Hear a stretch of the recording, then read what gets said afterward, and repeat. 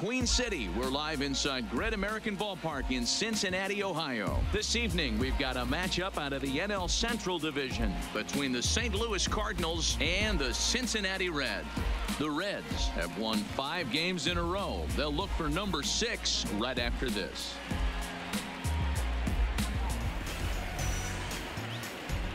So striding in, Cody Sullivan. He'll lead things off here in the bottom half of the first.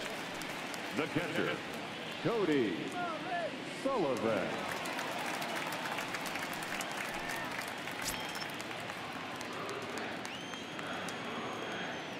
First delivery to him on the way.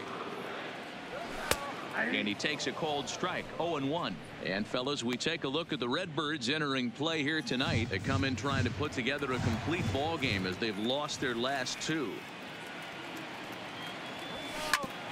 Hit hard on the ground towards second. And that'll get on through into center field so he's got himself a leadoff single. So here's Matt Kemp now. He brings a hit streak that currently sits at six games entering play.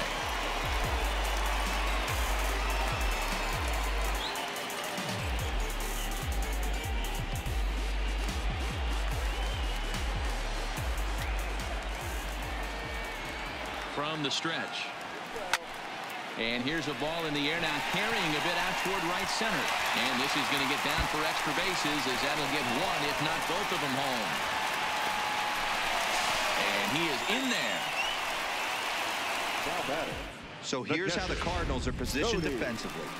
And this team, they're not going to be moving around as much as some of the new age teams. The shifting and moving the third baseman over second base and the right fielder to play third base. This is going to be your stationary team, trusting pitchers to execute pitches. He's set and the pitch. There's the circle change and a dandy that time as he jumps ahead with strike one. This is a tough guy right here to hit into a double play. He's fast and he swings from the left side, so out of the box he's going to get a good break. You might have to try to get the strikeout right here because very rarely are you going to get this guy to ground into a double play. Here's a look over to first. Runner back safely. Peraza leads off first with one away.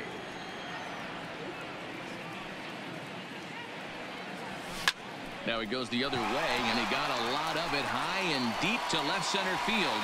A leap, but he can't rein it in. It's off the wall. And they'll have runners at second and third following the one-out double. Digging in for his second at-bat, Joey Votto. He singled and scored in his first appearance in this one. Yeah, and just another simple single to the outfield would be a big one right here. Don't try and do too much. You know there's a potential base open right there. Maybe sit off speed. Here's a swing and a long drive high in the air and deep to center field. Bader is there, and that should be deep enough to score the run. Now the relay home. Ah, but the throw is well up the line, and a second run's going to score. Schmidt takes his lead at third with one away. Hard hit ball towards the hole, and just past his outstretched glove into left, a base hit. And that'll put him on the board as it's now a 5-1 ball game. Cody Digging in the switch hitter, Cody Sullivan, who's got three hits, including a double to this point.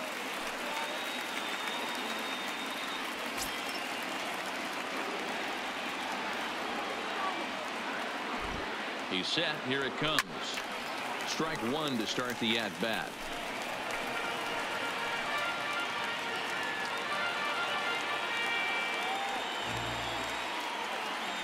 Now the 0-1.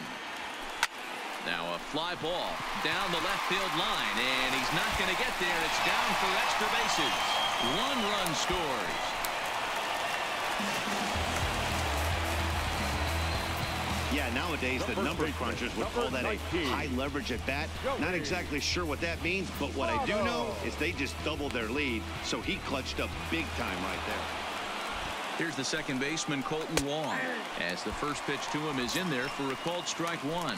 He's got a hit in three at-bats to this point. Taken called strike two, and now they're down to their final strike tonight.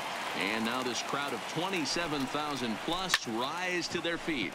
He pulls this one into right. Puig is there. Makes the catch and the ball game is over. You could just see that the confidence is radiating off of them out there right now. That's six wins in a row, and this looks like a train that's not about to slow down anytime soon. 8-4 tonight. The Reds crossed the plate three times in the eighth, helping propel them to the win. Anthony DeSclafani notches his third win of the year. Michael Wacha was only able to work four innings as he takes the loss. So that's a wrap here tonight. For Mark DeRosa, Dan Plesac, and Heidi Watney, this is Matt Vasgersian. You've been watching MLB The Show. For more, find us on Twitter at MLB The Show.